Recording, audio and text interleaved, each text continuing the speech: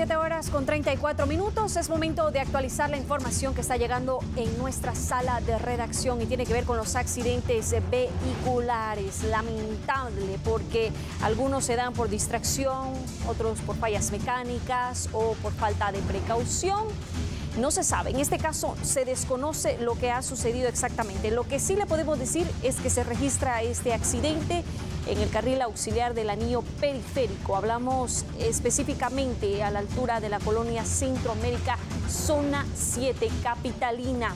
Ahí podemos observar a varias personas curiosas quienes se acercaron al eh, ser partícipes o más bien dicho testigos eh, de este incidente vehicular para determinar si habría alguna persona que resultara herida.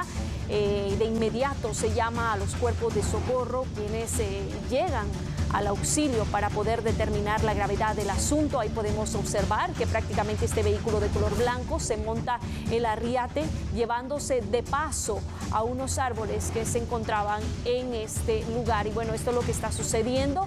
Eh, como podemos apreciar también en pantalla, la ambulancia está de alguna manera pues tomando el carril eh, derecho en dirección hacia el periférico norte, es decir, todas las personas que se conducen hacia las diferentes eh, zonas 1, 6 o incluso se dirigen para poder llegar hacia la calle Martí. Bueno, esto es lo que está sucediendo.